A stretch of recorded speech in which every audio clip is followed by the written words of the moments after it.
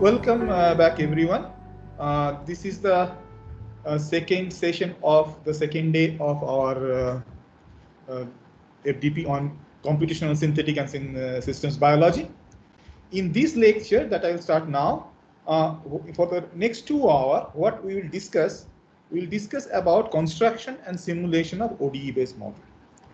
Essentially, up to this, the first four lectures that you have heard are all based on developing, except the first one, obviously the generalized one. All these other three lectures were primarily was on building, you know, network, like network, network structures and all these things, graph-based, graph theory-based uh, discussions. What we'll start discussing from today and for next couple of days, multiple lectures will be there, which will deal with dynamics of dynamical models will be discussed. So what I will try to do in this lecture is that I will go into the only the elementary aspects of dynamical modeling, particularly the ODE based model.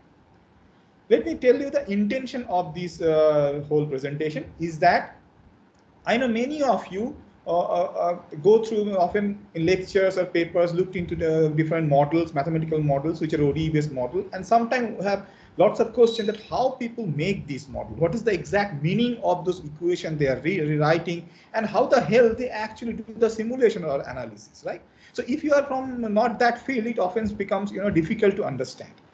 And that may happen when my other friends and colleagues will start speaking from tomorrow about bifurcation, hysteresis, and all other features like uh, dynamical model of genetic circuit, dynamical models of you know metabolic regulation. Then it may become a bit difficult to understand that how they are creating those models, why they are creating that type of equation, and what is the meaning of those, and how do they help uh, simulate those. So this talk, I will try to prime you to that so it is essentially elementary. If you are good in calculus and differential equation, then this course, uh, this particular talk is not for you. But as I understand the uh, educational background, the diverse educational background uh, in this uh, of the participants of this FDP, we decided that we, we should have something where we can bring everybody on the same page. So this is the first uh, objective of this particular talk. And the second objective is that many of you, uh, either students, a scholar, or even a faculty, want to start your work slowly with some baby step about OD, uh, by creating own ODE based model. So you may be, you know, working in dark that you, you want need some leads, right? So you need some basic introduction. You need some knowledge about the uh, books and lectures that you may go through so that you can learn them in details, right? So this is the whole purpose of my talk uh, this afternoon. Now, uh, you must have noticed that uh, throughout our lectures, what everyone was talking was actually talking of graphs, right? And if you remember, some people also said repeatedly that they are talking of static thing.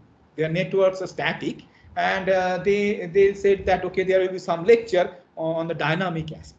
So what do we mean when we say that we want to discuss about the dynamics or dynamical model, which is actually not captured by the graph theoretic things that we have discussed in last four, five lectures. So let, let us understand what do we mean by dynamics here in this particular context, right? So what I have shown here in this slide is that it is my Facebook network right? You can also, if you have a Facebook account, there are free apps. Uh, you can in, uh, you, can, you can log into that, and then that app can actually draw a Facebook network. And you can see I I, I am in the middle uh, uh somewhere. Let me take the pointer. So I am somewhere here, and you have these uh, other people are all the nodes, and as their friend, I have a connection with them and you can easily see there are clusters uh, even you don't need to do any mathematics here. And those clusters are coming because uh, different organization educational institution i have went through. So if you look into this this is possibly my jadavpur university friends.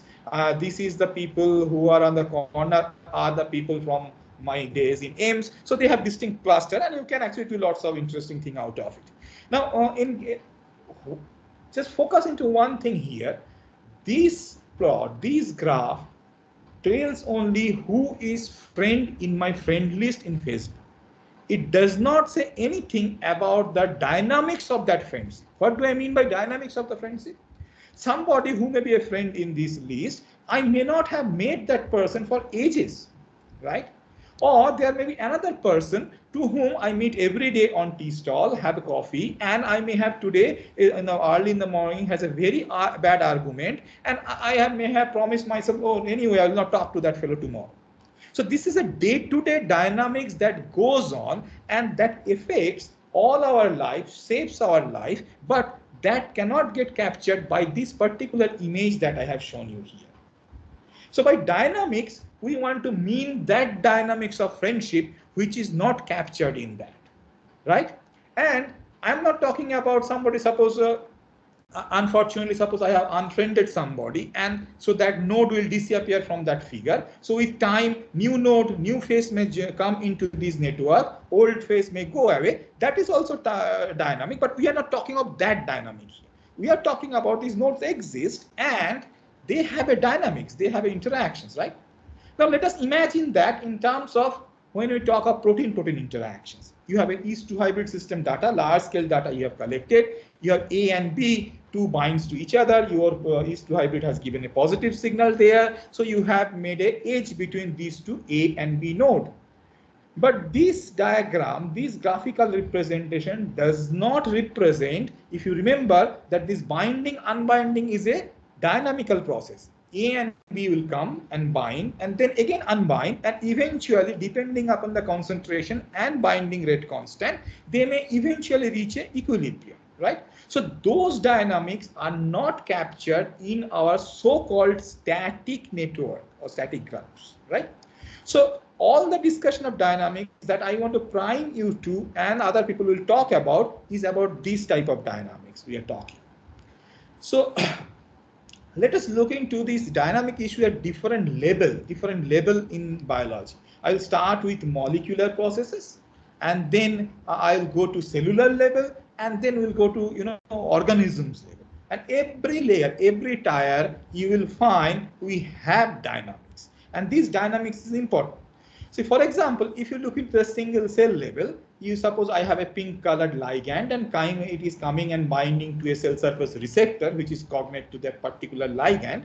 And when it, this complex will be formed, again, remember this complex formation is also dynamics. The ligand once bound to the receptor does not remain bound eternally. It is going out, coming back, going out, coming back, depending upon rate constants of binding, rate constants of dissociation. And that varies from one ligand, one receptor system. It will vary. All any any student of biology knows that in biochemistry textbook we have learned, and that may vary depending upon the surrounding, temperature, and other issues also.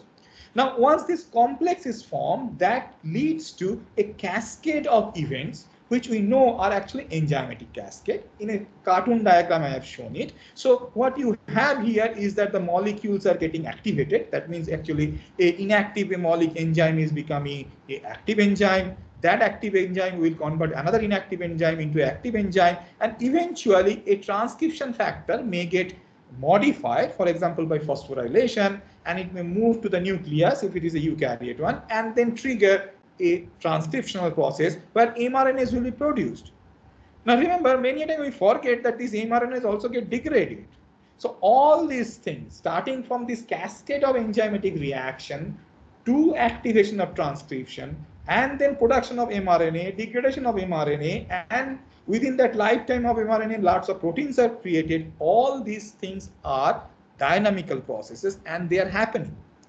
And that is why many a time we see that uh, we insist that if I am suppose doing a, a pathway analysis by uh, treating cells with suppose I have treated cells with EGF and then I am doing a Western blot to measure the uh, ERK1-2 phosphorylation in Western blot, uh, people will insist that you do not do only you know one time point experiment, but they will insist, okay, do Western blot with different time points, starting from zero point time point, 15 minutes, 30 minutes, something like that. You have to decide what time uh, time gap you want the samples, which is appropriate for your system, and then do the Western blot.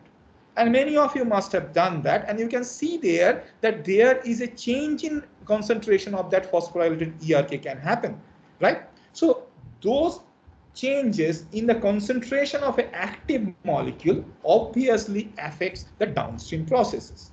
as all processes in biological system at the lower level are chemical reactions. So numbers or concentration controls everything, right? And those numbers and uh, concentrations are continuously changing. And sometime you may actually may get fooled. We may think something is actually not changing. For example, look into the next uh, example where I have said a pattern formation. Pattern formation is a classical example of pattern formation is pattern on the skin of zebra or something like that. If you even don't look at that, all our tissues has patterns, right? Different types of cells, they can come together and to make a uh, right tissue type thing. Uh, uh tissue or cellular organization will be there. And for long period of time, for a long period of time, you will see this, this pattern, this segregation of cells or segregation of color are actually static, right? But if you look into the details, you will find actually they are not static, but actually there is a dynamics happening continuously and the system is actually in a steady state. If you are a physiology student or uh, coming from other biological field, you may call it a homeostasis. When we talk in mathematical terms, most of the time we can say equilibrium but uh, may, that may not be a right word to use because these systems are not at thermal equilibrium. They are away from thermodynamic equilibrium. Uh, so it is better to say they are in steady state. So visually, at the macroscopic level, when you are observing, at the higher level when you are observing, you see nothing changes. My weight is not changing maybe in last, last one month, right? But that does not mean my cells are not uh, getting birth and my some cells are not dying that's continuously happening. So I have a steady state right now. Now move from this pattern formation. If you move to suppose spread of diseases, now every other person is creating a model for how corona and COVID spread. So everyone, every layman also know about SIR model and other thing. But eventually, if you remember, these models are dynamical models, and these were one of the earliest model. People started making these type of spread of infectious diseases model in 1800, and we are still using those basic ideas and basic equations uh, till now, even when you have uh, this uh, pandemic going on. So there also the process is dynamics dynamic, right? So one person get infected, that person comes in contact with another person, and that person get infected also. So there is a dynamical process, right? So essentially, as the title says of this slide, the only constant in life is change. If dynamic stops, actually life cannot exist. Even though oh, macroscopically sometimes we see things static, below the hood, you have actually dynamical processes going on. And we are supposed, we will talk about these type of dynamics and models to capture this type of so before I move into how the uh, these basic, uh, you know, simple elementary tricks and techniques and teach you those things, let us uh, again uh, try to look into why these dynamics matter. Uh, I have seen uh, shown one cell signaling case, but don't go too much into details of these, whether this is the only way things happens or not. This is take it as a more of a metaphor. I have given a reference. this diagram I have taken from that reference. That doesn't mean that the data of this particular experiment was present in this reference, right? But it is a review article which gives a very good review of what I, am going to talk now. See, if you have uh, uh, studied any cell signaling, we see that we have some canonical pathways, like PI3K pathway, SMAD pathway, uh, ERK pathway. Okay, there are connection between these pathway, but eventually these are highways of information transfer from outside to inside the cell. Now, although most of the time we have a cognate receptor for a ligand, right? We have a ligand receptor pair. There are promiscuity. We know there are promiscuity, but let us uh, don't go into promiscuity now. But in general, think about it. Okay, I, if I take EGF, I have EGFR uh, receptor, and I have, if it is a nerve growth factor, then I have NGFR receptor is there. Now, if you look into the database of signal and signal pathway, you will see both EGF and NGF after binding to their cognate uh, receptor, their respective receptors, all of them, uh, both of them actually activate ERK pathway, right? Now this can happen in other pathways also, and there are hundreds of examples you can give. Now the question comes that okay, you in signal transduction, this type of overlap of pathways happen, but somehow cell discriminate different input signal. This is the old problem. People have worked on it, and people are still working on it. One way one way that cell can discriminate between signals which are activating the same pathway is depicted here. So what we are showing here is that if you do Western blot or something like that, you will see in the same cell, when you treat with NGF, it is coming from one particular experiment. Remember that particular cell type they have used. You cannot generalize for everything. So you have NGF treated cells. They show that phospho-ERK increases and then remains high for long period of time. Maybe for two hours, suppose they have done the experiment, suppose, imagine. And whereas in when they treat the same cell line with EGF, what they see is that phospho-ERK increases, but it is transient one. It rises and falls.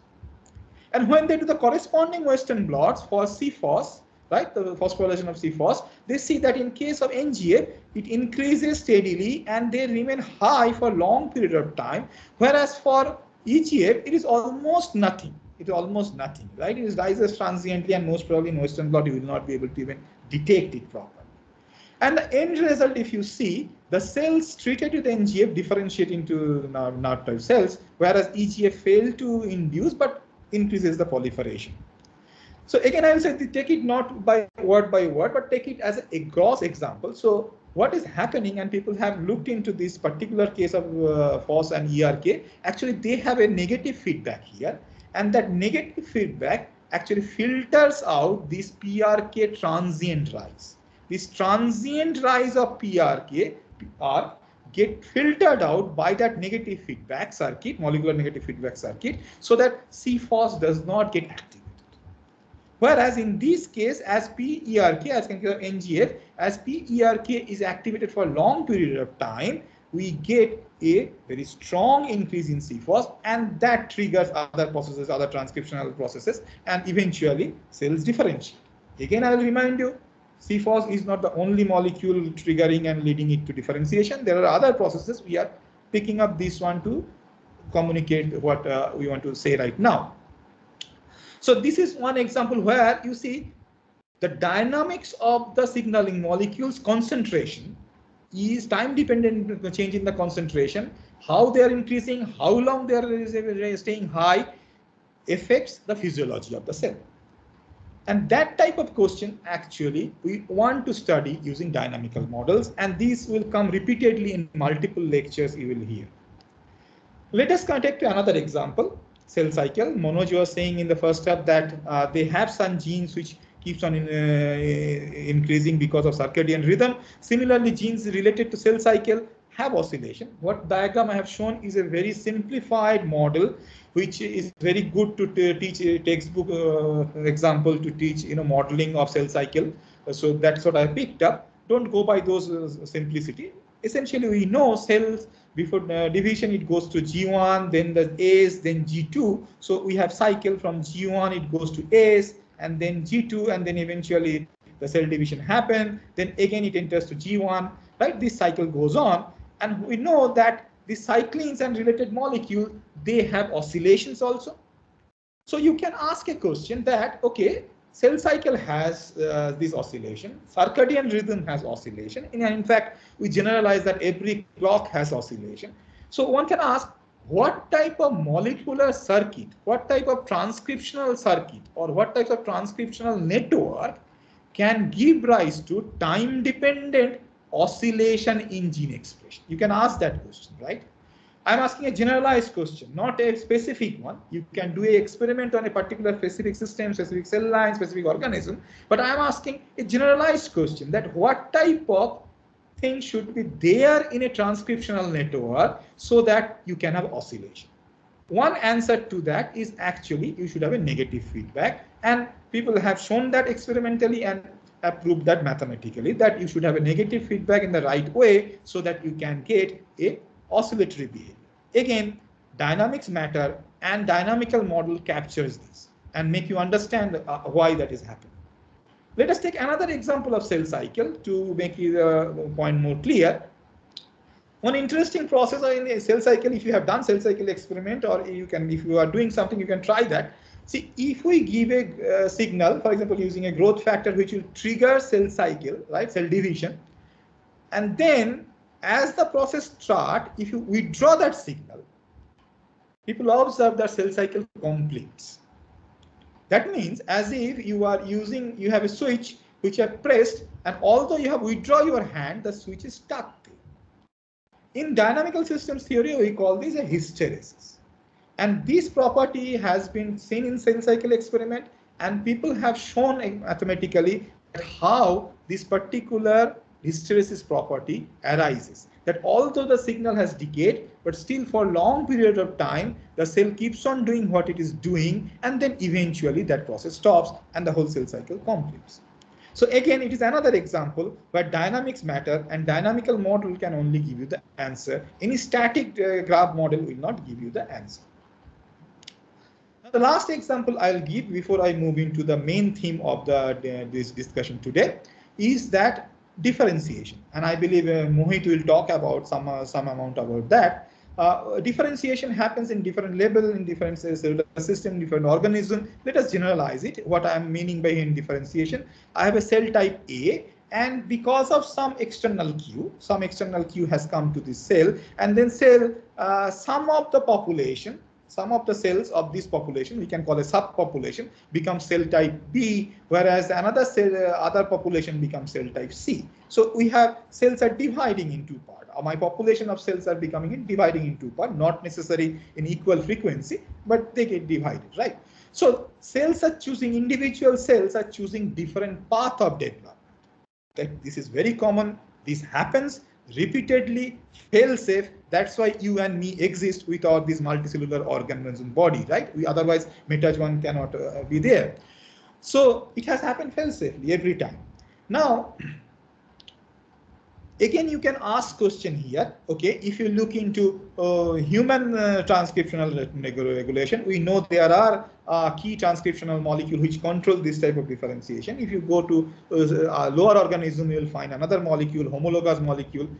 We are not going into details of the molecular processes. What we are saying that what physical principle is there? What type of physical switch is there that controls that the cells of same type takes two different paths. And what we say in terms of dynamical model is that this type of system, if you model and look into transcriptional network, you will find this type of system has what we call bifurcation.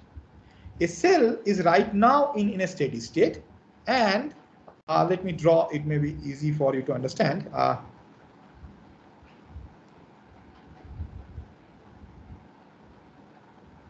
So suppose a cell is particularly right now in a steady state. It is in a steady state actually. But then as a signal comes from outside, a signal comes, there are two possible steady state now. Both are steady state. Two possible steady state are now. And depending upon the noise in the system, depending on the amount of randomness in the system, which you cannot avoid anyway, some of those cells in the population will choose this path and we'll go to one steady state, a new steady state, which is a different cell, and some of the cell will come here. This is typically known as bifurcation. We know now a lot about what type of transcriptional network can have this type of bifurcation.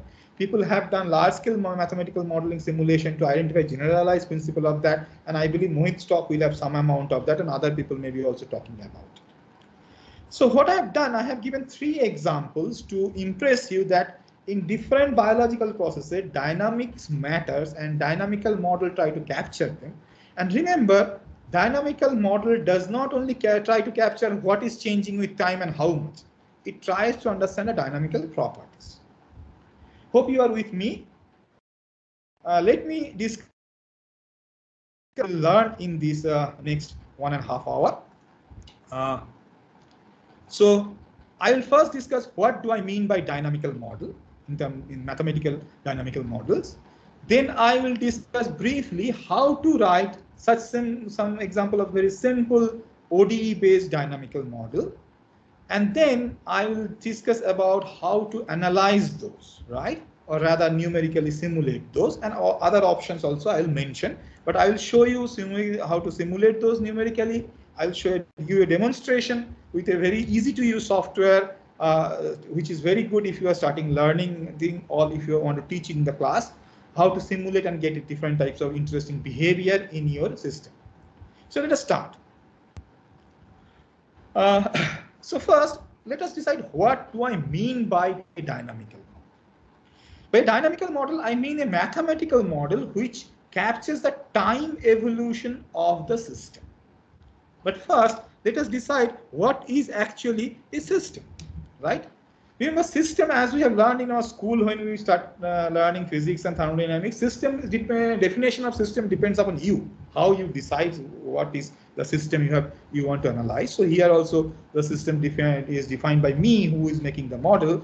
Uh, I have a purpose for that. So for example, if I consider these examples shown here where EGF bind to EGFR that activates AKT, AKT get phosphorylated to become active, PAKT, and then that activate FOXO, a transcription factor, uh, sorry, in, uh, inactivate FOXO by phosphorylation, whereas FOXO has an active form as transcription factor and controls the expression of P50. Now, uh, oh, so this is my system. How do I mathematically represent this system? The concentration of EGF, concentration of EGFR, concentration of AKT, concentration of phospho-AKT, concentration of P15, FOXO and PFOXO's concentration, the concentration of these molecules define the system. And this concentration changes with time, so the system evolves with time. So my mathematical model will capture this change in concentration of these molecules. In some other cases, even in uh, you know these molecular processes, you may think, okay, I will not use concentration but numbers, right? Numbers of these molecules. If you are talking about modeling spread of disease, individuals are numbers, right? People are numbers, infected people are numbers, so not concentration. In that case, number of infected people, number of uh, uh, susceptible people, number of dead are actually as a whole representing the system, defining the system, and these numbers are changing with time. And our mathematical equation should capture that. That is our goal. So what do I mean by capture? Why, why? What type of things we, are looking for? It? So if I have a plot, time versus concentration of any of these molecule, different types of behavior you can see. You can see oscillation. The oscillation can be stable. Oscillation can stay for some time and then, you know, decay. Or you may have something like this orange one. It may increase and become steady. So the steady one is actually what we call, uh, you know, a steady state. So this one is this one is actually steady state right? Now steady state i will not discuss in detail. I hope other people will discuss in the, in the other other talks steady state can be two types. One is stable unstable. What do i mean by stable steady state? Let me just briefly tell so that we can come uh, refer it uh, frequently. Stable steady state mean okay the system has reached the steady state. Nothing is changing right? Concentration of the molecule is not changing. But if you disturb the system, it will move away from the steady state, but after, after some time again, it will come back to that steady state. So that means it's stable. You can have steady state which are very unstable. If you don't perturb your cell, if you don't perturb your system, the system will remain at that steady state. But if you do a slight perturbation intentionally, it will move away from that steady state. So that is unstable. Whereas for stable, with respect to steady state, uh, some cases you, you have the oscillation. So we many a times are interested to know why the oscillation is coming. Can I control the oscillation? What parameter of the model is controlling the oscillation? And uh, can I convert an unstable steady state into stable steady state by changing some parameter, some parameter which can be controlled by experimentally outside? Those questions people usually ask. So now if the dynamical model is defined this way, then how do I represent it mathematically? So what we use is actually differential equation and a particular type of differential equation we call ordinary differential equation. And there is nothing ordinary actually about them. But, but anyway, uh, we call it historically, there are reasons to say it's ordinary differential equation. And what we do, we try to represent the rate of a process by this differential equation. If you have done calculus in your 12th standard, this part which I'll go into now is damn easy for you if you have forgotten those things, but I'll try to recapitulate what we are doing here. Excuse me. So suppose this, I have an example here. A is getting converted into B in a reversible process. I have rate constant K1 and K2. So then my model can be something like that. I write a differential equation. On the uh, left hand side, this dB dt is the differential for B with respect to time T. and something is there on the right hand side of the equal to that I will not go details right now, but this is a function, right? This is a function of a and b. So every differential equation will have a differential on the one side of the equal to sign and some function on this side. And that is where the trick comes. And I will teach you how actually people who model biological system use different functions to capture different types of biological processes. Because this is where what you know art of modeling comes. And i'll explain that. And many times it may seem very counterintuitive why they are using that type of function. And when you're reading a paper you may wonder why the hell they are using that function. So I can similarly write another differential equation for A and obviously you can notice the signs will be opposite with respect to this equation that equation because this is just the reverse of the process no rocket science here so uh, let us, before I move into details how we write these functions and the problems in that, let us, uh, for who has forgotten calculus, just to remind you, you know, the differential equation can be of different types. Uh, this is ordinary differential equation because it has only uh, one uh, independent variable. Time is independent, right? It is flowing itself. Uh, we have no control over it. Time, so x is changing depending upon time. So I have dx dt and uh, x is my dependent variable. x is my dependent variable because it depends upon time. a and b are constant. In our language, we call them parameters. Right? And estimating parameter and proposing parameters for a model is actually a completely different discussion. I'll have a one, one slide, but it is a very a long discussion. Actually, one another two-hour discussion we may need for that. Now, sometime in your model for the previous one also, I had two, may have two differential equation. So we'll call it a system of ODEs. And as you can see here, I have X and Y both in dx dt, right, on this uh, first ODE. And then the second ODE, I have also X. So this system of ODE is called coupled because two ODEs of X and Y are coupled, right? You cannot separate them out because to know dx dt, you have to know Y and to know dy, dy dt, you need to know x. So this is a coupled system of OD and most of the biological models are coupled system of OD and this is linear or you don't have power of x and uh, to any uh, power for means power bigger than 1 for x and y but in reality for most of the biological problem you will have actually powers and we have non or other non-linear term. What I will not discuss is that there are some and a very large body of uh, dynamical models which deals with partial differential equation. If you remember, uh, partial differential equations are systems, uh, differential equations where I have more than one independent variable. In my ordinary differential equation shown here, dx dt equal to ax plus b, x depend upon only t. t is the independent variable.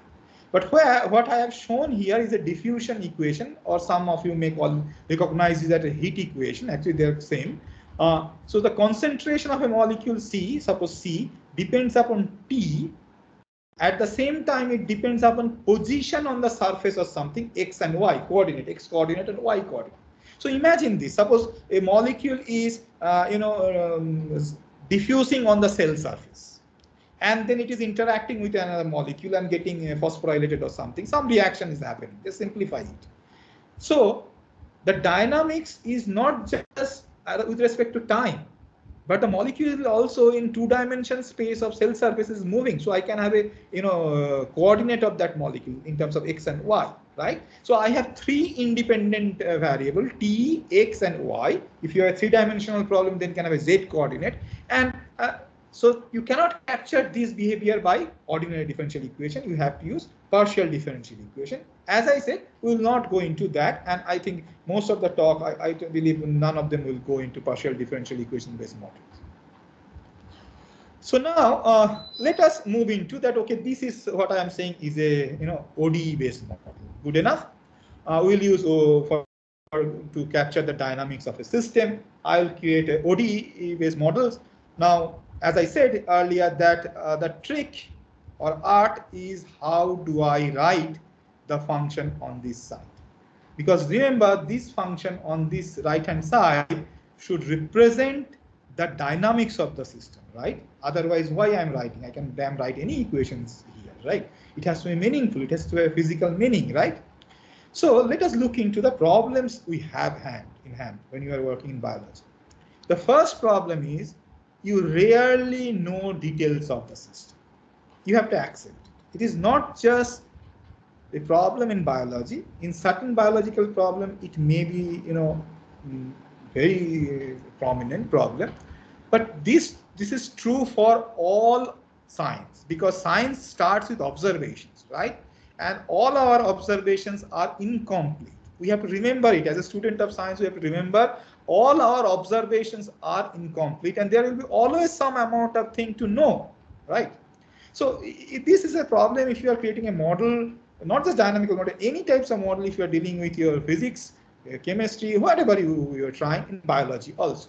So take a, for example, suppose you are trying to make a, a transcriptional model for a, that example I said that the FOXO will go and bind and, and regulate the expression of P15. It is very easy to draw that cartoon diagram that the FOXO is controlled. But if we have uh, all of us biology students know that you know not just FOXO, there will be hundreds other molecules involved there. Many of those molecules I may not know. There may be modification of the structure of the genome at that moment, and hundreds of other things which we may not know at all right now, right? Because for example, when I was doing PhD, nobody used to know what is miRNA and every gene expression control was thought of transcriptional control. And then came, you know, the methylation of DNA. That was a big deal that that can control transcription. And then when I'm a student teacher now, I know there are miRNA. So the same phenomena, which was initially explained in terms of transcriptional control by transcription factor, then people tried to incorporate methylation pattern, then you know, maybe microRNA also involved in that particular control. So with time, our knowledge increases, but we always have to accept we know rarely know details of the system. And the other problem that you have to understand is that is a typical problem in biology. In physics and engineering, we do not have much of that. Is that we actually does not have very good first principle understanding. What do I mean by first principle is that uh, if you remember your school level physics book, a ball is rolling down on a ramp. You, if I give this problem, you will immediately use the law of conservation of momentum, use the laws of Newton's three laws. One of them, you'll choose one of them appropriately, and you'll write down those equation, dynamic uh, equations, and you'll solve them to get the answer. So those laws are the first principle, right? If you are designing an engine of a car, you know the thermodynamics, you know the, all the thermodynamics rules, and the other thing Carnot cycles, those first principle things, and you can actually design on your design board based on those, right? In biological processes, actually, in many cases, in most cases, we have that limitation. We do not have this first principle based understanding. Now, what is the way forward? The way forward that we use mostly still now, apart from trying to develop first principle, is that try to create model something which we call similar to phenomenological model. What do I mean by phenomenological model? Don't get confused. Uh, yeah, phenomenology has a different meaning in different areas. So what do I mean by phenomenological model is that we want to capture the observed behavior, right? So you try to write functions and models which will try to capture the behavior. And I'll give you an example of that in later in the talk. Now, uh, another thing that we have to remember, what we do, like any other field of science, remember this is not unique for biology, is that we want to use the concept of Occam's razor, or you may aware of this word in another term is called parsimony. That the whole idea is you have to keep the model small and simple, as simple as possible try to make a simple model which still explain the observation and create you know a falsifiable hypothesis. It can it should be able to create a hypothesis which i can test by experiment. But don't make it big. Don't because you will not be able to compute. You will able to analyze it. You will not have the parameter values the constant terms to you. Keep it simple small. Let the get the job done none, none of your model, never on earth have anybody created a model which explain everything on the universe. And we are not planning to do that either. And in biology, you actually do that. If you remember, if you do the phylogenetic tree, we actually use the concept of parsimony there. If you have gone through bioinformatics books or uh, go to the class, we call it parsimony, that we want the shortest distance to decide that who, where the, you know, the, comes from the common mother or common ancestor. So the same idea there is keep it small and simple. So now uh, let us start with how do we uh, build models, right? So with keeping in those mind that I have to keep things simple, I do not know the first principle things, and I had to write down some function. Uh, so, but before I go into those tricky thing, let us take something which many of you may have in chemistry book, physical chemistry book, you have understudied. And this is uh, example of creating a ODE based model using first principle. What is that? A is reacting with B, small a and small b are the stoichiometric constant. It is giving rise to C and D, a simple reaction. And we have famous law of mass action, which is almost 300 years old. And this law of mass action is the first principle. And if I have to create a, a dynamical model, so I will have a rate which is equal to by the law of mass action is equal to or rather proportional to concentration of the reactants A and B, each of them raised to some power. Those powers are A prime and B prime. And individual of these dA dt, dB dt, dC dt, dd dt are the rate by which D, C, B and A are changing with time. And as you can see, D must be increasing, whereas A must be decreasing. That's why I have a minus sign in front. But this equation, this relationship is coming from my first principle, the law of mass action. Now, can I use it in biology?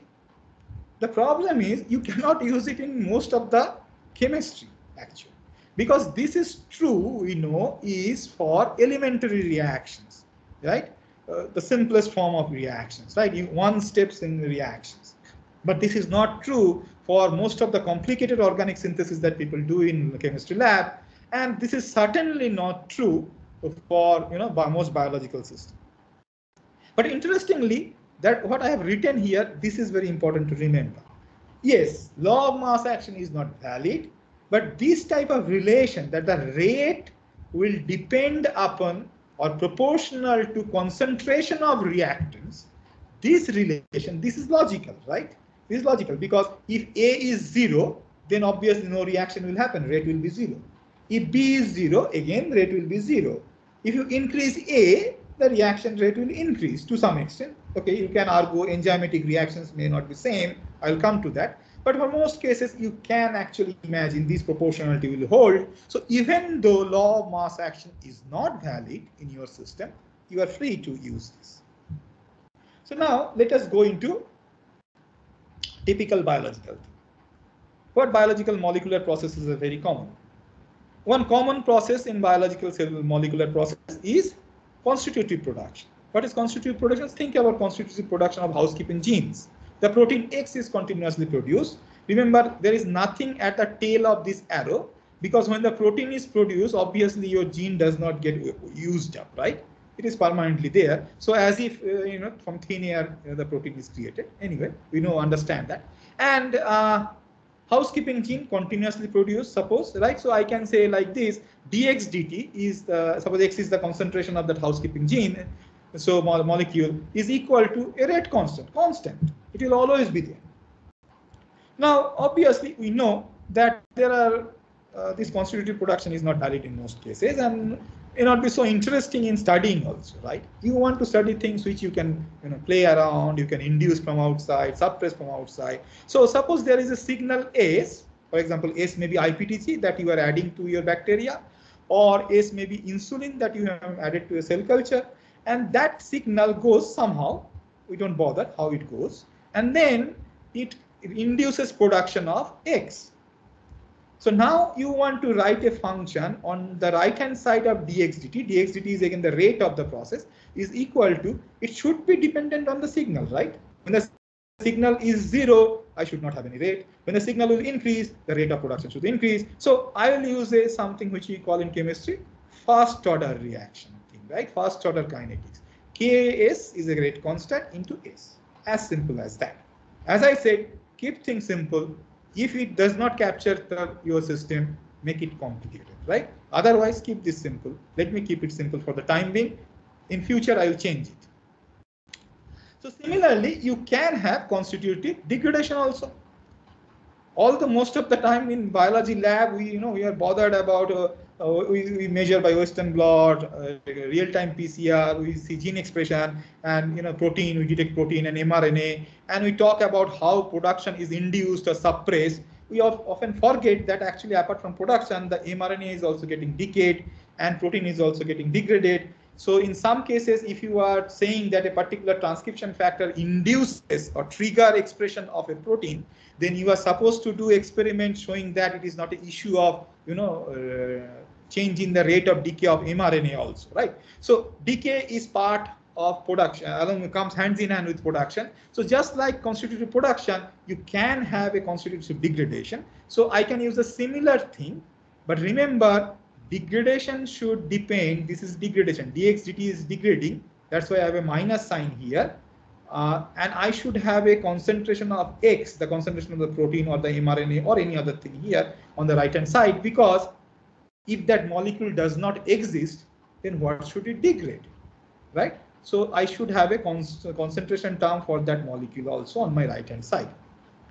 Similarly, if you have induced degradation, then you should have here, uh, you know, a signal term so that this signal is controlling the degradation of X.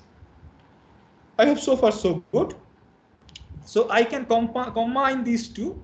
There is a induced production and degradation. So I can write dx dt, change in the, that is the rate in change of X concentration. The first term KSS is the rate of production minus KDX is the rate of degradation. Now, with this information, let us model a simple feedback circuit and then we'll simulate. In between, I'll stop to take any question if you have. So this is a feedback circuit I have shown. I don't know whether you can recognize. I, will wait for a few minutes, uh, seconds. Try to recognize feedback can be positive feedback, feedback can be negative feedback. X is here, Y is getting phosphorylated to YP. X is a active enzyme. You can imagine as a kinase. P is a phosphatase, right? And P is causing dephosphorylation of YP to Y.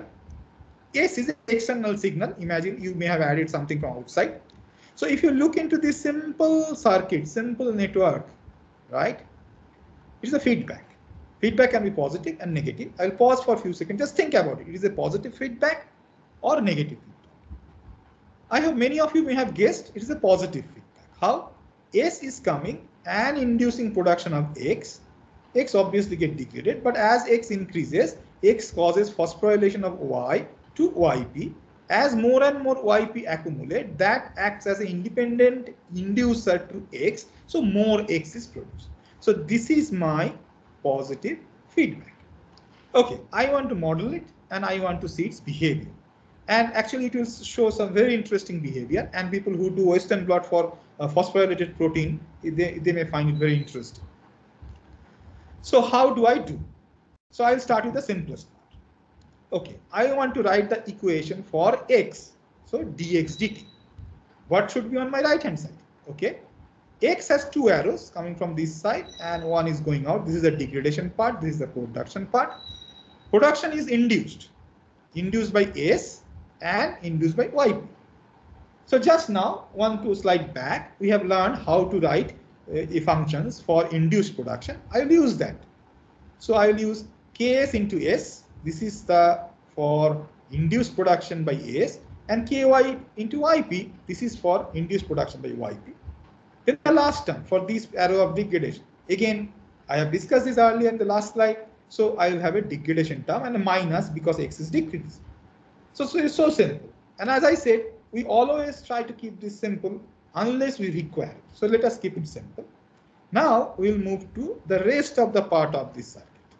So comes Y, right? So next one is for this reversible reaction where a kinase is phosphorylating Y, X is a kinase, and P is a constitutive phosphatase which is working on YP. So this is an enzymatic reaction, right? And I, from my experience, I know if I have an enzymatic reaction, that simple equation will actually not capture the behavior. In general, these enzymatic reactions are much more complex, and if I simply oversimplify it, considering is simple first order and second order, we will be in trouble. So if I consider a simple enzymatic reaction where I have a substrate, which in presence of enzyme becoming a product, then the rate of change of P, the product, dP dt can be written as a second order equation that is K into E into S. but most of the time it will not work because these enzymatic reactions are not so simple. So you have Michaelis-Menten kinetics and many of you may have heard people repeatedly say that most of the biological enzymes in cell does not follow Michaelis-Menten kinetics and I agree with that but don't get scared about it. Again, we are not saying here that this system follows Michaelis-Menten. Rather, uh, we want to use that type of function because that type of function has certain behavior and that usually matches with our system's behavior. So if you have Michaelis-Menten kinetics, what you do, dp dt is equal to a constant, right, into the concentration of enzyme into S divided by Michaelis-Menten constant plus S.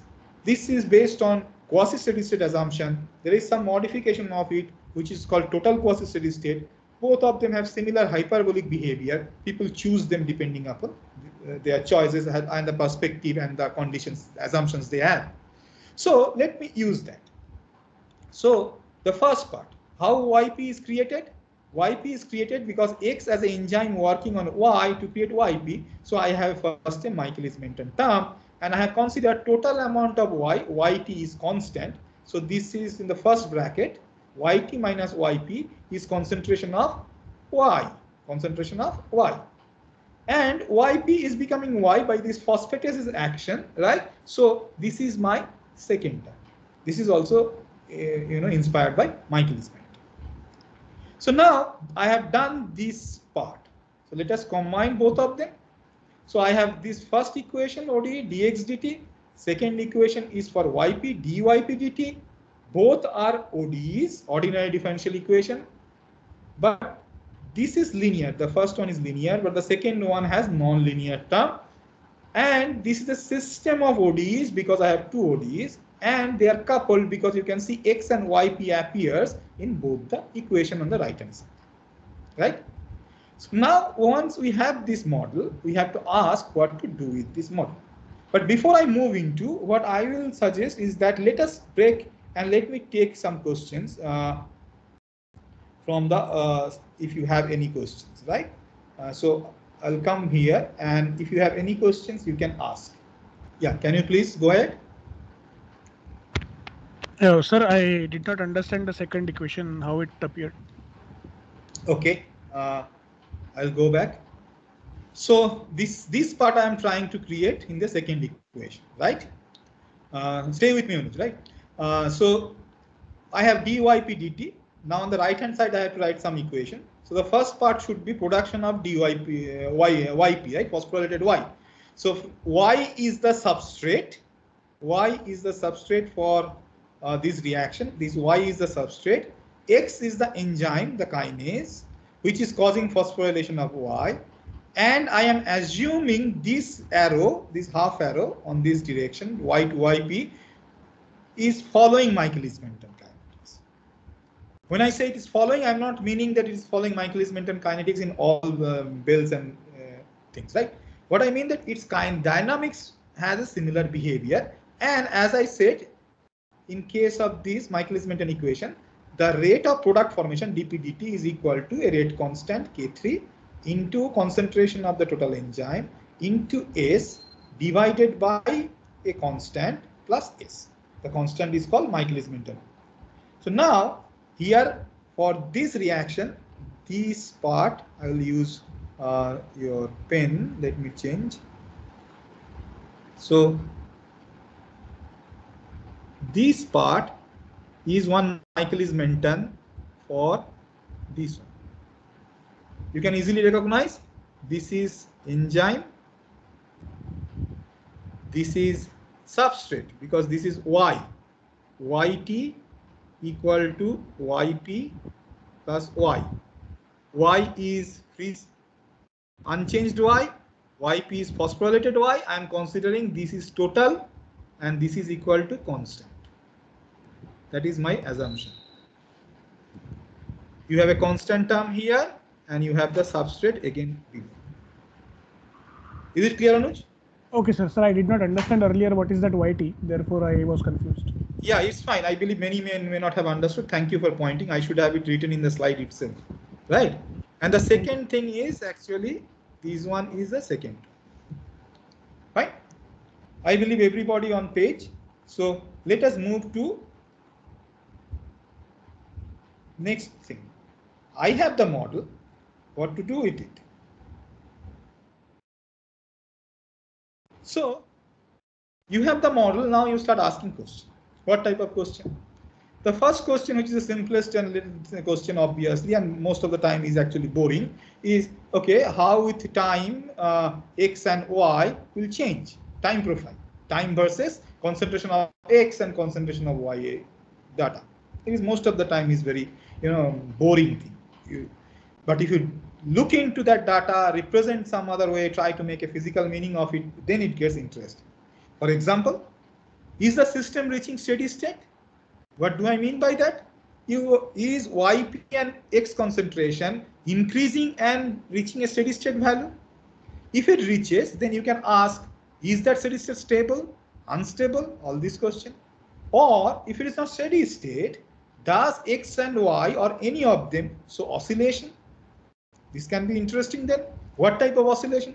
Stable oscillation, damped oscillation, all this question will come up. And then you can think about what is the mean importance of that oscillation in physiology of the cell. Then there are certain things called strange behavior I have written, though there is not strange, I just to shorten the whole thing. For example, we can have hysteresis, we can have bifurcation that we talked just briefly in the introduction. As we change the parameters, I mean, parameters mean this constant term, K1, K2, Michaelis-Menten constant, the rate constant KD for degradation, these parameters, right? These are constant in your model. So when you change them, does the system behavior changes drastically? Something you know uh, strange or enigmatic does it appear? And again, rarely in biology though, but in others physical system and social system actually, does the system has chaotic behavior? These things becomes very interesting and enigmatic then. And believe me, you don't need a very complicated equations, a mathematical to model to actually create a chaotic behavior or study. Very simple physical system with very simple ODEs can give rise to this type of you know chaotic behavior and very enigmatic behaviors. I'll not go into them, but just to keep you keep those in mind.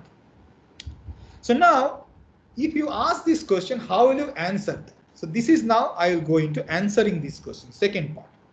So you can answer this question multiple way. The classical way would be analytically doing it. But what do I mean by analytically? Analytically means you, if you have done calculus in your school, you have integrated equations, right? So you, you integrate these to solve the uh, function for x and yp. And sometime actually to understand the stability and other long-term behavior actually use linear algebra based method and they are very well established, well known, very old concepts, but they're very powerful. So that's why we use ODE based model.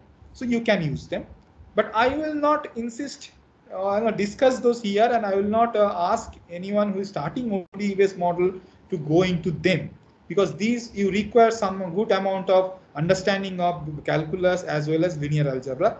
Otherwise, you will get lost into it. So better don't go into it if you are a beginner. Graphical method is a very old method, hundreds of years old method, which people have used. Very easy to understand if you know how to implement it. This was bread and butter for mathematicians when we did not have any computer to solve equations, and they are still powerful, but they have a limited use. So I will not discuss that either. I will discuss numerical solutions, how numerically you simulate this system. In mathematical term, we do not call it simulate the system, we say we solve this system right? But they are same thing that you will do. And that's what I will show you. And I will show you how simple it is without any inhibition. If you start practicing and going jump into it, actually you can also do it. So what do I mean by numerical simulation? So there are method by which I can actually, suppose I have this uh, model and if you tell me what is the value of x and yp at t equal to 0 means time point 0 then I can actually solve this equation numerically or simulate in my computer to tell what will be the value of x and yp at a particular time point. So that is what numerical simulation and there are uh, standard uh, numerical algorithm. Euler's method 300 years old still going strong is the first one. Most of the method that we use now and most of the uh, software that you may use will have a method based on Runge-Kutta method which is very robust than Euler's. Uh, but Euler is faster and simpler. That's why many a time we still prefer it. but most of the method that people use now in the ready-made software or in library are based on Runge-Kutta method, which are much more uh, stable and stronger. Now, you don't need to go into those algorithms unless until you are more interested. If you know how to write programs, then Fortran, C, Python, MATLAB all have library functions. You can write your own program using these algorithms, solve your model. That's what you need to do when you have a large system or you are doing large scale simulation for your model. If you are starting, if you have a small system, if you are not doing large scale simulation, then better to stick to ready-made software with GUI. There are hundreds of them. I have listed only few, Copasi, DBSolve, JPassy, Jigsaw, KineSolver. These are all available free. You can try them. What I will show you is JSim, and I actually ask people to start with JSIM. There are reasons why I say to start with JSIM. You can get download JSIM. It's a Java-based tool. You can download from this uh, link given here. The website is filled with very useful information starting guide, then the complicated thing, advanced material. They have a whole database of model, ready-made model which you can borrow, reuse, practice, reuse in your work. The best part of JSIM is that it is between this writing program and using a black box. Remember when you use Copasi or Kepasi, it's a black box. You are just actually uh, not doing much here. You cannot manipulate much beyond what they have done. Whereas if you do write a program in C, you are you are the god of your problem. You can do anything you want, right? So you need something in between which is easy to use and JSIM is something like that. You have to write a code, but writing the code is damn easy. I'll show you, right? And then rest of the thing is GUI, graphic user interface. So graph will appear, you can save the data, you can visually change, you have pull down menus, very easy to implement. So let us, uh, uh, before I go into it, I I'll come out of this uh, presentation and I'll give a demonstration how I model that positive feedback using JSIM, right? Yeah, I hope you can see a screen of uh, codes. Uh, Molly, can it be seen? JSIM can be seen? Yes, sir, it is visible. Okay. So I have already started the program, right? So I have two panes here. On the left hand side, I have the code and the right hand side, actually the messages come and the plots come. So let me explain what we have here. JSIM has its own language, just like any other programming language, right? So you have, uh, don't get bothered here. It is actually we are declaring that we are using JSIM's math language and the name of the model I have given this model positive feedback. And then I have this curly bracket which says the uh, code start and I have the end of that curly bracket here to say the code has is over. Just try to understand what is the body of this. See, you are doing time. Time is your independent variable. The concentration of x and y is changing with time. So you are defining that here. You're telling machine that see, time is my independent variable and the minimum value of time is zero. Don't make time negative. It has to be stopped at zero. It's zero. And its maximum value, I want 100, means up to 100 second or 100 minute or something. We have not considered unit here. You can consider unit. But in this example, I have not considered unit. So what we are saying is that, okay, you, you will go say and simulate up to 100. Mean go start from zero and stop at 100 and this is t delta means I am asking okay don't collect data at every time point you take data at interval of 1 because I don't need so much of data. Then you are telling the machine see I have two dependent variables x and y. And you see how nicely I have written. The way in your math book you will write x in a bracket of t and bracket t means x depends upon t right? So x and yp are dependent variable and that is what I am declaring to the machine. Now in your model, you have lots of parameters, signal S, degradation constant KD, its value I have chosen 1.2.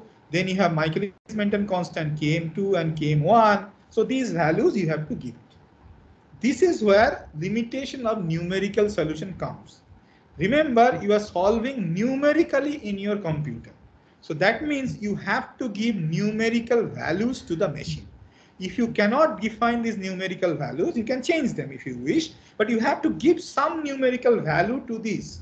Otherwise, computer will not be solved. If you want to get rid of this numerical value, you want to solve this generalized way, then you have to use analytical and algebraic technique, which many a times is very difficult to do actually. Believe me. In fact, even a, PhD student in math will stumble upon most of the time to solve analytical, most of the time actually. the biological models that we build. So you have to rely on numerical thing and you have to tell them this model these numerical values. This is one limitation, obviously, but we have a way out of that. Then you have to tell the machine what is the value of x and yp at time equal to zero. This is in maths term we call initial value problem, right? So you have to tell what is the value of x and y at the beginning. Otherwise, how should I ca calculate that how the uh, value of x and y will change? So I have taken here 0, 0. I have considered both of them has zero concentration. And then this last part, if you follow, is nothing but those two differential equation I have written. JSIM cannot understand dx dt if I don't write this uh, colon based thing. x colon t for JSIM is dx dt. Similarly, this the second one is dp dt, and the rest of the thing is actually nothing but the equations that you have seen. No big deal in that. So this is my model. Hope I do have not made any mistake anywhere. So I have all these buttons here. So I will compile it. Okay. If it works, compile, there should not be any message here. Otherwise, error message will come on your right hand side. And now I have come to my run pane where I can run my program. You can see all those uh, numerical values that you have entered are here in the screen. For example, x init, this is the initial value of x, yp init, yp's initial value are 0 because you have set them. I can manually change it here also. I can make it 1. I can make it 10, whatever. Let us keep it 0. The simplest thing without going in complications, there are lots of other below the hood, easy to access thing. For example, I can use a different algorithm. I can choose do I want Euler? Do you want defined or Runge-Kutta method? Do I want something else? Uh, JSIM allows you to do that. Don't go into that. Use the default one when you are beginning. Run. Okay, where is my data? My data should be in plot page. Okay, let me widen this. So what I have plotted here is I have plotted YP versus time. Nothing is written in the x-axis. Let me write it time because JSIM by default will plot the time in horizontal axis and you can choose this vertical axis. I have chosen YP here. I can pull down and change it to X also. So let us take it to YP. Why? Because this is interesting if I am doing experiment. Usually by Western blot we measure uh, unphosphorylated protein, phosphorylated protein. So suppose I have antibodies to detect unphosphorylated Y and phosphorylated Y. So I can measure so in this case, if I do a experiment, you can imagine that if I have a zero hour sample, then suppose 10 minute sample, 20 minute sample, something like that. And then if I do quantitative image analysis of that Western blot, I may get this type of behavior. So that's just imaginary thing you can take on study. Now what you have here is that the system has reached a steady state because YP concentration has increased and then it has reached steady state nothing interesting in it, right? Except that I am showing you how to use it. And uh, believe me, if you are a student or a scholar, is a faculty who want to start in it, you have more or less understanding of differential equation, you have seen models, just download JSIM and start using it. It is so easy to do, right? So now let us do something a bit interesting. I will use this option called loop. Here, loop tab. I've already populated my thing. What I want, I want to change the value of S, the input signal, right? Because input signal you can manipulate from experiment outside, right? For example, I said suppose if it is involving, uh, suppose it is a, Uh, pathway uh, where Y is getting a phosphorylated by YP, suppose x X, S, the input signal is a growth factor, right? And you can control how much growth factor we will put in your cell culture. So that is represented by 0 0.3, 0 0.075, 0 0.1, 0.2, something like that. I have lots of them I have kept. Okay, and I want to see if I change S, how YP behavior changes with time, right? And remember, all S is given at zero time. I don't need to manually repeat this simulation. Here I can do run them all together by loop run. Okay, it took a couple of seconds. Now you can see very interesting thing. What I have here, for some value of S, Okay, for all value of s, the yp value, which is in the vertical axis, has reached steady state, some steady state, either lower or higher. But for some value of s, it has reached a lower value, whereas some other value of s, it has reached to higher value. So now I have something interesting in my model and maybe in experiment also we can get that. I'll come back to that. Now I'm sure you'll agree these graph look clumsy. I myself find it difficult and I'm sure you are also finding it difficult. So JSIM has an option. I can actually export data and I have exported the data. So I'll go back to my PowerPoint slide where I have made beautiful plots using this data so that it becomes much easier to understand. I'll show you two plots. One where S is kept at a particular value, just the previous simulation that I did. And the second plot what I will show is that where I will not show time versus YP. I will not show that. What I will show, I will collect data, the steady state data. For example, at 100 time point, I will take the value of YP for each of these simulation for different values of S and I will plot. So you can understand some S steady state value will be low, some will be high, and then we'll plot it and see how does it look and does that give some meaning in biology or not. So bear with me, I'll go back to my uh, uh, PowerPoint back. So I'm back to my PowerPoint. So here we have. So this is my initial simulation. I kept S equal to 0.3. Signal was at 0.3. This is my model. These are the numerical value of parameter that I have used in my simulation. And I've saved the data and plotted in SigmaPlot time versus YP. As you can see, the YP is increasing, right? in YP is increasing with time, YP is increasing with time, and then saturating at a steady state. Fine. We have seen that is a better representation. Now the second experiment. I have different values of S. Excuse me. Starting from a low value of 0.5, 0.05 up to a value of 1. And you have seen the simulation. I have taken the steady state value of YP from each of those simulation and those are tabulated here. and what plot I have made? I have made the signal input signal S versus the steady state value of YP in the vertical axis. So you can see here for up to around 0.35 or something, the steady state value of YP is very low. Whereas just after that, you have made a slight jump 0.35 to 0.36. You see, you notice here 0.35 to 0.36. And what is the jump? YP is changing from 0.1 to 0.9. Huge jump. YP is getting completely phosphorylated. Now, if you have done Western blot of phosphoprotein, sometime you may have also seen this type of behavior. You have dose dependent Western blot. You are treating cell with some growth factor or some other drug or something, and you are measuring some phosphorylated protein and you see that initially up to certain dose you do not get almost no signal from phosphorylated protein and then you slightly change the input signal the uh, in treatment with the drug or growth factor all of a sudden there is a huge increase in phosphorylated protein one reason maybe is that in that system also you may have a positive feedback positive feedback give rise to known to give rise to obviously the parameter has to match give rise to this type of behavior where you have completely two domain, one low, one high. We call it on-off domain. This region I can say is off state, whereas this is on state. If your input signal is high, beyond this 0.36, the system will be on, otherwise it will be off. Now you can imagine if YP is involved in some other cellular processes, if the signal is up to this region, in this region, those work will not be done in the cell. But if you slightly increase the input signal, the cell will start doing those work because YP will become very high.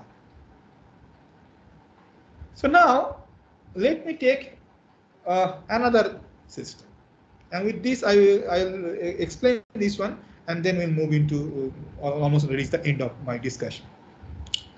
Till now, what I have discussed, I have discussed about a positive feedback. And before that, I have discussed about constitutive reproduction, degradation, enzymatic things, and all these things we discussed. But I have not discussed about transcriptional regulation, right? What type of function one should use?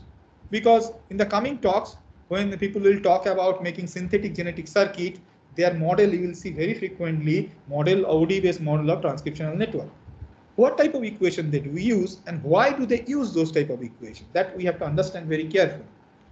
So I have to understand that I have used a very simple transcriptional network. I have chosen it from a textbook because uh, it is easy to model and it can give very interesting behavior. That does not mean you will find it very frequently or something like that, right? Just use for instructional purpose, remember. What I have, X is a gene from which I get the X protein. X protein get modified and become Y. Y get further modified into Z and Z itself as work as the active transcription factor and inhibit the production of X. So this is also a feedback, but this is a positive feedback. This is negative feedback. X is sending a negative signal to itself, right? I want to model. Now I can use my constitutive production degradation approach to represent it, but we know transcription and uh, is not so easy, right? Transcriptional control has certain interesting behavior. So we want to capture that in our model. So what is that interesting behavior? Initially shown for IPTG, but then for many other transcriptional system, it has been shown that if you plot induction, inducer versus expression level plot, inducer in your horizontal axis and in vertical axis you have expression as you change or increase inducer, you do not see a linear increase in expression. Rather, what you see is that a sigmoidal behavior, and sometimes you may have a hyperbolic also. But It will increase like this and then saturate. And many a time, most of the time, you can have a sigmoidal behavior. So up to certain level of inducer concentration, suppose that the IPTG concentration you're adding, there will be no or very little expression, and then all of a sudden, increase expression will increase. So just a simple first order, second order equation cannot capture this behavior. So if this behavior is present in this inhibitory thing, then I cannot use a simple second order, first order thing to capture the behavior. I have to need, I need some other function or equation to capture this. Now let me remind you, there are hundreds of uh, functions and you may create another new function, 101 or maybe two function which can have this type of sigmoidal behavior. But I have to choose a function which is small, simple, and has some sort of meaning. So that's why biologists usually pick up Hill function. If you have studied biochemistry, then from the um, how hemoglobin works, saturation of hemoglobin, you know the Hill function there. In that case, your uh, YP will be oxygen saturation and X will be partial pressure of oxygen. So this function y equal to x to the power n divided by k to the power n plus k to the power x to the power n is a sigmoidal function. I'll show the graph. So suppose x induces y expression, then I will use this type of function. x is the inducer concentration, n which is in the power is called Hill coefficient, k below is called Hill constant. Now what type of sigmoid behavior is this? Here I have a plot you can see for different values of n and k I have plotted, all of them are sigmoid. And if you carefully check, k is actually half saturation concentration. When k is equal to x, capital K is equal to x, y will be half actually. So this is what I have shown by the dotted arrow here. So k is actually half saturation. So this function is simple. I have only two parameter n and k and it gives me sigmoidal behavior. That's why in most, overwhelmingly most uh, majority of the transcriptional network model, you will find people using Hill function. Now you must be thinking that this is for induction, right? When x is zero, there is no production. When uh, x is high, we have high production. But in this diagram, x is getting uh, X is the gene which is regulated negatively. So when this portion Z will increase, X should decrease. Hill function will not capture. Yes, we can manipulate it and we can have a Hill inverse Hill function and that will be used in this particular model I have showing showing. So that will be k to the power n divided by k to the power n plus x to the power n. Don't get confused with this x and this x. These are different. This is generalized x and y I'm writing. So now let us write down the ODE for this model.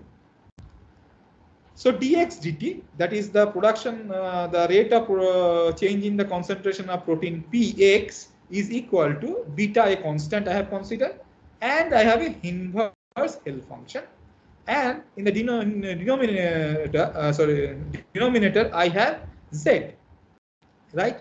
Because Z is controlling so Z is in, uh, inhibiting so Z is here Z to the power n. And the next part minus alpha x is nothing but the constitutive degradation of x. For y and z I have kept things simple. Y is getting produced by a from x so k1 into x one term. Y is becoming z so i have minus k2 into y.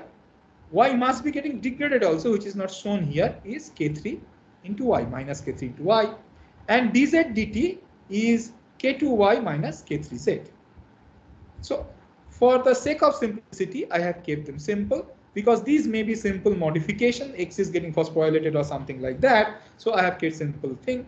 Uh, and whereas this one i want to capture this high you know sigmoidal behavior in transcriptional control. So that's why i have taken an inverse function now what will happen if I simulate it? I'll not show uh, almost we are we have 15 minutes left, so I'll not do the simulation, but I had the code here in JSim. You can again simulate in JSim. So what I have done, I have done repeated simulations and I'll show some interesting behavior. So in this equation, n is Hill coefficient, right? And I have initially considered it 3. And then if you see what happens, x increases and then it drops. Obviously, it will drop because I have a negative feedback. As x increases, y also increases. There is a slight delay because from x, y has to produce. And as y is produced, more z is produced. So there is a time delay again. But then as z becomes high, it suppresses the production of x and x is getting degraded simultaneously by this alpha x. So x falls and then it oscillates slightly, the damp oscillation and I get a steady state. So it's a damped oscillation and steady state. Again, nothing interesting actually. But now let us change the value of n. n is a measure of how strong is the interaction of z on this uh, you know the promoter region. So let us make uh, consider that z interacts very strongly, very strongly, right? And uh, so it's inhibits strongly. So let us make n equal to 20. It's you know it, it is ridiculously high in biological system. It will not be n equal to 20. Just to impress you that what type of behavior can come and just for teaching I'm saying n equal to 20 and you see what happens. Now you get a stable oscillation. X is increasing, decreasing, increasing, decreasing. Initially the amplitude is high and then it decays, but then eventually it gets stabilized. I will not discuss those. This type of oscillation, forget about value of n. This type of oscillations are very frequent in gene expression circuit, metabolic circuit, and even in your biochemistry book, you may have heard of the word called limit cycle oscillation. Because initially they have a high amplitude and then they fall on a particular limit cycle where they keep on oscillating. So this is a typical simplest, uh, maybe ridiculous model to which can give you a limit cycle oscillation. So far so good. Uh, now I will discuss one sticky issue that I am not going in detail because I said it may take two hours, three hours to discuss. As you said just now, value of n, n is a parameter or constant in your model and it can change the behavior. So your conclusion from your model depends upon model parameter. And in this uh, equation, all the red marked things are parameters, constant. And the question is, how will you know those values? Without knowing those values, you cannot do numerical simulation.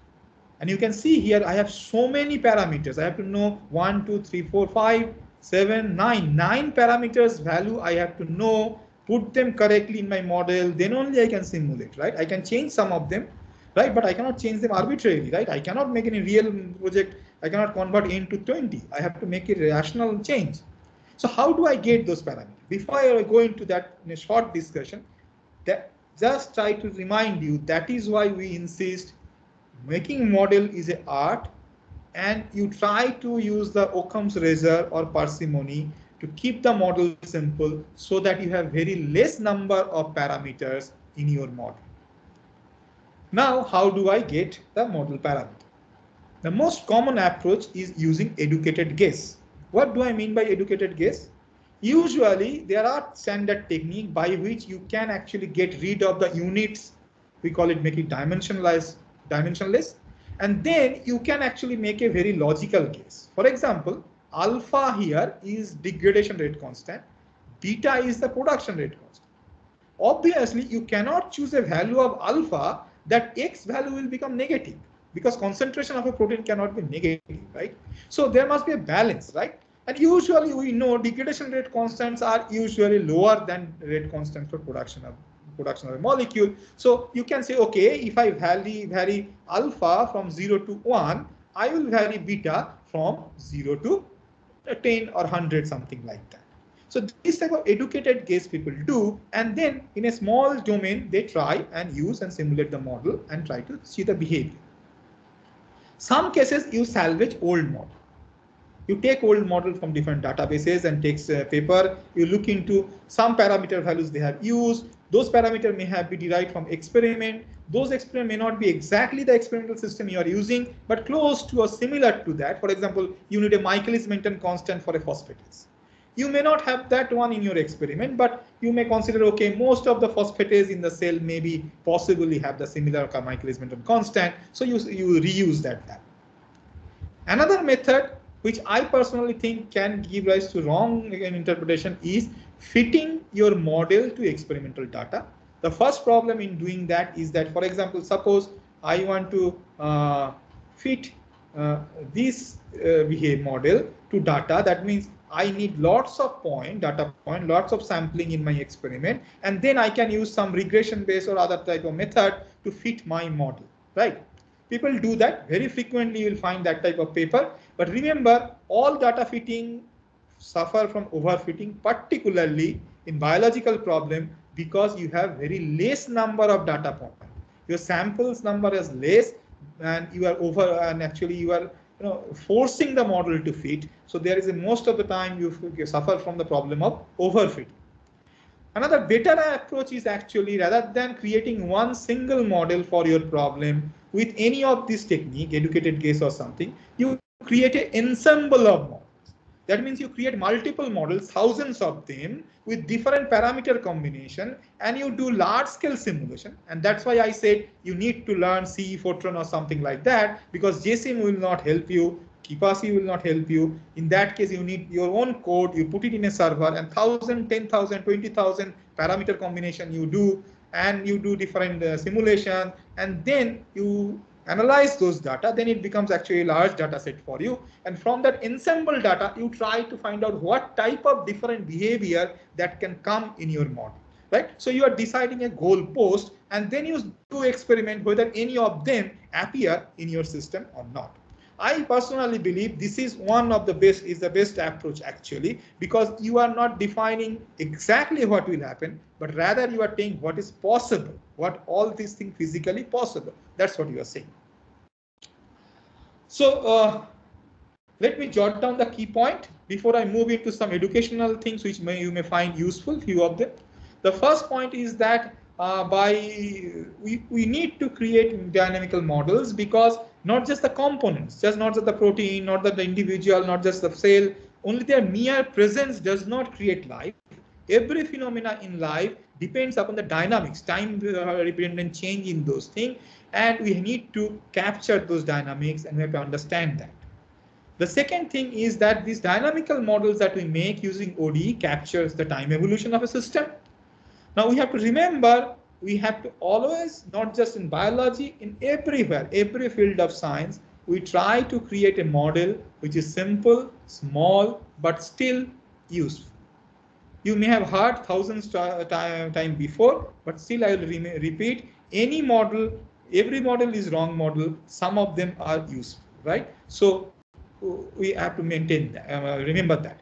And the second thing is we have to use functions which has meaning but simple meaningful with your context. Maybe it may not be meaningful in my context, so I will use a different function in my ODE-based model. And then you can analyze the model using analytical, graphical, and numerical method. I have shown numerical method. I'll strongly encourage you to start using that and you will get habituated very easily. And you'll find then it is very easy to understand those papers or lectures where they use ODE based model and you will be able to understand them very easily. Now, let me uh, show give you some educational thing, uh, pedagogic thing. If you uh, forgotten everything about calculus, but you have studied in 12th standard, or you are very, uh, you know, determined that you will learn calculus, then there is a very good book which handled step by step with lots of figure for almost geometrically explaining everything. You know, if you complicated thing in mathematics can be explained very easily using geometrically. So this book, Biocalculus, Calculus for Life Science, is must for you. Try to grab it, start from first page, step by step it will teach you calculus, not just a simple calculus, even you know vector calculus also, and linear algebra, everything step by step. It's a very good book and I recommend it to everyone starting.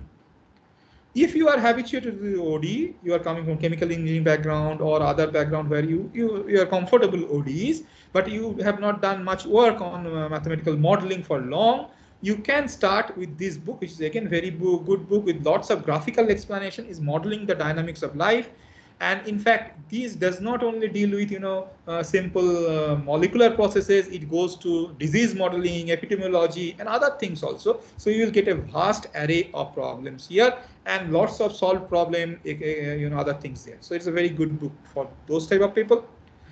If you are a seasoned math person math uh, somehow you want to leave other fields of math and you want to come to mathematical biology the standard textbook of mathematical biology teach in math department across the globe is the first and second volume of Murray's mathematical biology. Again, this is just like Gita in mathematical biology. It covers multiple things. The edition has got a bit low, old, but still this is the uh, you should start with this actually or if you are starting teaching in your math department you should start with this book actually now, if you do not enjoy reading book, but start want to start something visual or, or uh, you know, or what we say, uh, YouTube based thing or something like that, uh, my MOOC on uh, Introduction to Dynamical Models in Biology will start from 23rd August. You can join that. You will obviously, if you appear for the exam, uh, you will get a certificate. If you say you do not have time for joining all these NPTEL course or something, then remember this is a rerun. So all the videos are available in this YouTube link playlist, right? So you can go there. I will upload this, uh, send this uh, PDF, right? So you can always uh, visit this playlist and mark it and see the videos. These videos are meant for people who are not well versed with calculus. Little bit of calculus is there, but most of the thing are conceptual and graphically explained. And the graphical technique which I have not discussed here are discussed in details there. If you want something more, uh, what do you say, raw and more uh, mathematical, then uh, from last year, I, I, teach a systems biology course for almost 12 years now here. So I have made the videos of those course, that course. So all those videos are there in this uh, link. You can go there, but remember this is for people who are in general comfortable with calculus and linear algebra. Now, if you want something much more complicated and hardcore, then you must visit, you may have read the book of Steven Strogatz, but you, uh, there is a video of his course, right? Live courses, nonlinear dynamics and chaos. It's a must for you, right? So I have arranged them books and video lecture as per the difficulty level. You can choose depending upon that. With this, I will end. And if there is any question, I will take. Thanks a lot for staying with me.